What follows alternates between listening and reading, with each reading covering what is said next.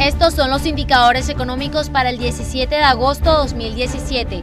El café es de un dólar con 32 centavos. La carne molida tiene un precio en las tiendas de barrio de 9.980 pesos el kilo, la zanahoria 1.500 pesos la libra, el frijol rojo 3.000 pesos la libra, la cebolla roja 2.000 pesos la libra, el litro de aceite 6.500 pesos, el corozo 3.000 pesos el kilo. Y finalmente el ñame 1.000 pesos el kilo.